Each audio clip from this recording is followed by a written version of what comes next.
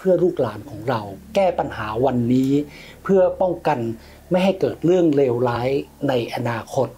เพราะฉะนั้นเราต้องไม่ยอมให้ใครโกง ทุกคนจะไม่โกง เราจะไม่ยอมให้ใครโกง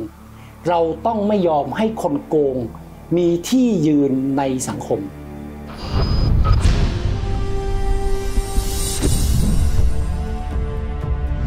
ทุกคนสามารถติดตาม ดูและฟังย้อนหลังได้ ไม่ว่าจะเป็นจากทาง YouTube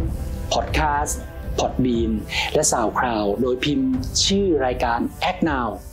และใน Twitter และเว็บไซต์ขององค์กรต่อต้านคอร์รัปชันประเทศไทยครับ ลงมือทำเดี๋ยวนี้ จริงๆคำว่า ACT ย่อมาจากชื่อองค์กรต่อต้านคอร์รัปชันประเทศไทย ภาษาอังกฤษเราเรียกว่า Anti Corruption Organization of Thailand ครับ มีคนถามมากว่าท้อไหม ที่ทุกวันนี้คอร์รัปชันมันยังเป็นปัญหาใหญ่ของประเทศอยู่เลย ทุกๆวันมันก็จะมีข่าวออกมามากขึ้นแล้วก็มากขึ้น ช่วงนี้ก็ดูเหมือนมากขึ้นไปอีก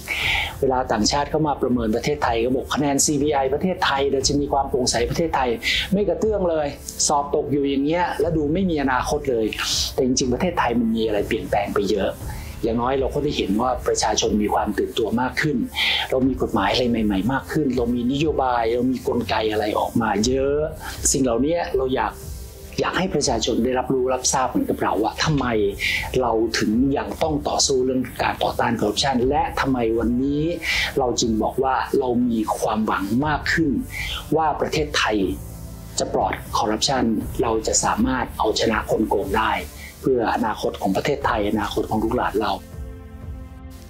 การส่งฟ้องใหม่ ไม่สามารถลบล้างความผิดเก่าของผู้ปฏิบัติหน้าที่ ที่เกี่ยวข้องกับคดี จนเกิดความเสื่อมเสียที่น่าอดสูครั้งนี้ได้ เหตุการณ์นายบอสขับรถชนตำรวจเสียชีวิตที่เกิดขึ้นมา 7-8 ปีแล้วเนี่ย กับทำให้คนตั้งข้อสงสัยมากขึ้น ว่าอุตสาห์ให้บทบาทมากขึ้น มีอำนาจมากขึ้น มีบุคลากรมากขึ้น แต่ทำไมวันนี้กลับทำเรื่องที่มีเงื่อนงำมากมายทำให้ประชาชนเกิดข้อสงสัย ในรัฐธรรมนูญฉบับปัจจุบันเนี่ยเพิ่งแก้ไข ให้ความสำคัญให้อำนาจให้บทบาทกับสำนักงานอายการสูงสุด เป็นองค์กรอิสระตามรัฐธรรมนูญครั้งแรกของประเทศไทย สาเหตุก็คือว่าต้องการทำให้องค์กรแห่งนี้เป็นองค์กรที่มีความเข้มแข็งเพื่อปกป้องคนไทย ปกป้องราชการ ปกป้องผลประโยชน์ของพวกเราทุกคนนะครับ แต่ว่าจิตสำนึกของคนที่รู้แก่อำนาจ ปฏิบัติหน้าที่ตัวเองไป โดยไม่รับผิดชอบต่อสังคม มันทำให้สังคมยอมรับไม่ได้ ประชาชนฝากความหวังไว้ที่อัยการ แต่ไม่ได้ฝากไว้กับที่ตัวบุคคลนายกนายขอนายสมชายนายบุญมีคนใดคนหนึ่ง แต่ฝากความหวังไว้กับที่สถาบันอายการ นั่นแปลว่าในระบบของอายการด้วยกันเองเนี่ยจะต้องมีกลไกการตรวจสอบว่า ใครก็แล้วแต่ที่มาถือสำนวนคดีนี้ คนคนนั้นจะต้องปฏิบัติหน้าที่อย่างตรงไปตรงมา หากมีใครคนใดคนหนึ่ง จงใจบิดเบือนบิดเบี้ยว ระบบของมันจะเข้ามาตรวจสอบ ให้ถูกต้องแล้วจะทำยังไงเราถึงจะมั่นใจได้หนึ่งละก็คือ ตัวระบบการตรวจสอบถ่วงดุลของอายการต้องมีความชัดเจนนะครับ ขณะเดียวกันข้อมูลที่เกี่ยวกับคดี หลายหลายอย่าง มันควรจะต้องถูกเปิดเผยให้สาธารณชนได้รับรู้ความคืบหน้าพอสมควร ที่พูดอย่างนี้เราลองมาดูนะครับ เราสงสัยกันว่าเรื่องนี้ตัวจำเลยอะถูกถอนหมายจับไปแล้วใช่หรือไม่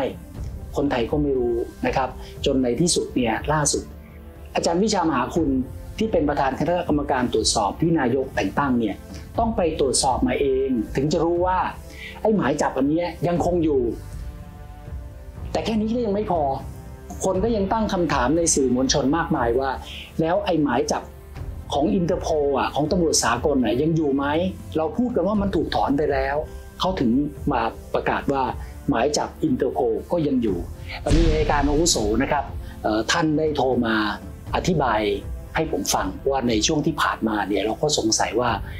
คำสั่งฟ้องคำสั่งไม่ฟ้องอะไรเป็นสิ่งที่ชอบด้วยกฎหมาย ไม่ชอบด้วยกฎหมาย เราก็เห็นมีการโต้แย้งกันอยู่ในในหน้าหนังสือพิมพ์ตามสื่อทีวีนะครับ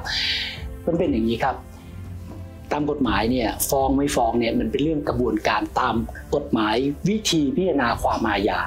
แต่ในการทำงานของอายการเนี่ยเขาจะไปมีออกระเบียบเรื่องของการสั่งคดีนะครับ ซึ่งเป็นกฎหมายประมาณปี 2542 เท่าที่ผมจำได้นี่นะครับ แน่นอนว่าเวลาที่อายการจะสั่งฟ้องเนี่ยจากเดิมว่าไม่มีข้อมูลไม่มีหลักฐาน พอมีข้อมูลใหม่เขาจะสั่งฟ้องเนี่ยนะครับ จะต้องเป็นการปฏิบัติตามระเบียบของอายการฉบับนี้นะครับ แต่ พอจะเปลี่ยนคดีที่สั่งฟ้องไว้แล้ว มาเป็นสั่งไม่ฟ้องเนี่ยเขาก็อ้างว่ามันมีอยู่ในระเบียบของอายการนี้เช่นเดียวกัน แต่ในความเป็นจริงนะครับ เขาบอกว่าระเบียบข้อนี้ไม่มีเขียนไว้ในปวิอาญา มีเขียนเฉพาะกรณีแรกก็คือจะไม่ฟ้องแต่ให้เป็นฟ้อง แต่จากฟ้องแล้วเป็นไม่ฟ้องไม่มีในปวิอาญาเพราะฉะนั้นระเบียบตัวนี้ถือว่าขัดต่อกฎหมาย ถ้าเรื่องนี้เป็นเรื่องจริงอายการจะต้องแถลงให้ประชาชนฟังนะ มันทำให้เราเห็นว่าตั้งแต่วันแรกที่เกิดอุบัติเหตุขึ้น เรื่องธรรมดามากเลยในในประเทศต่างๆ ทั่วโลกที่ในแต่ละวันมีมีอุบัติเหตุมีคนขับรถชนคน จะบาดเจ็บหรือเสียชีวิตก็แล้วแต่ แต่พอมาครั้งนี้มันกลายเป็นเรื่องของอภิสิทธิชน เปลี่ยนตัวผู้ต้องหา มีการหลีกเลี่ยง การขอความเป็นธรรม ขอเลื่อนนัดผัดฟ้อง มีการแก้ไขคำสั่ง มีการเปลี่ยนแปลงข้อที่จริงหลาย ๆ อย่าง ง่ายที่สุดเลย ที่ทุกคนข้องใจก็คือในเรื่องของความเร็วในการขับรถ ที่ก่อให้เกิดอุบัติเหตุครั้งนี้ ตรงนี้มันเป็นความจริงทางวิทยาศาสตร์ที่น่าจะพิสูจน์กันง่าย ๆ เอาตัวเลขใกล้เคียงก็ได้ ไม่ต้องเป๊ะๆแต่ว่าเราก็ยังทำกันไม่ได้ กลับไปกลับมา ว่าความเร็วเนี่ยมันอยู่ที่ 170 กว่าหรือ 76 77 กิโลเมตรต่อชั่วโมงกันแน่ เอาอย่างนี้ดีไหมเอาง่ายๆเลย ไม่ต้องคำนวณอะไรกันมากมายนะครับ เราเคยเห็นคดีลักวิ่งชิงป้น คดีข่มขืน คดีฆ่ากันตายเนี่ยตำรวจไปจำลองเหตุการณ์ เอาคืนไหนสักคืนหนึ่งนะครับ แล้วก็เคลียร์พื้นที่เลย เอารถ